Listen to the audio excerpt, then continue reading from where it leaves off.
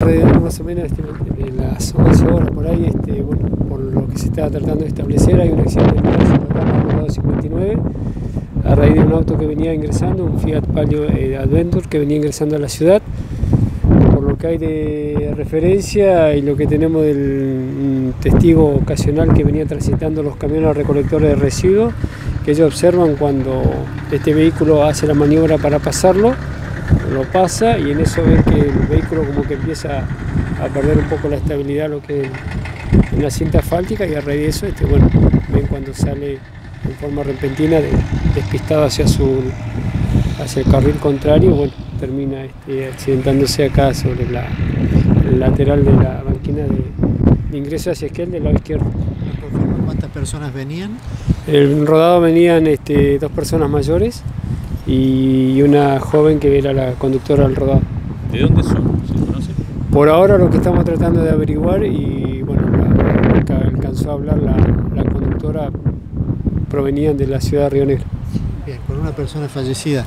Sí, ah, lamentablemente eh, sí tenemos una persona fallecida en el accidente de tránsito, un hombre mayor de edad que, que falleció.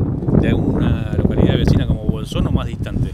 No, no, más distante, porque todavía lo que estamos tratando de establecer y ver de, de dónde es el origen de esta familia. ¿Sabe el, el, grado de las lesiones de las otras personas que fueron trasladadas al hospital? No, porque están siendo atendidas, están siendo asistidas, así que creo que va dentro de aproximadamente a, en horas de la tarde recién vamos a tener una información clara y precisa del resultado de qué lesiones La doctora no, no, no indicó que la sacó de la ruta.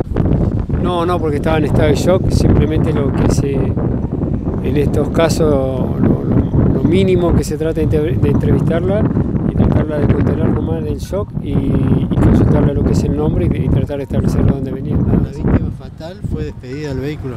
Bueno, eso es lo que se va a tratar de trabajar y establecer bien, a ver eh, bueno, si fue despedida o, o no. ¿Las demás personas estaban conscientes al momento del rescate? Sí, las otras dos personas son de sexo femenino, sí, en el momento del rescate. La señora, bueno, eh, estaba en shock, pero era la que estaba más consciente. Sí. ¿Y edades estimadas de las personas? Son dos personas mayores porque todavía ni siquiera te encontramos los, los DNI como para menos establecer qué edad tiene cada una de las personas.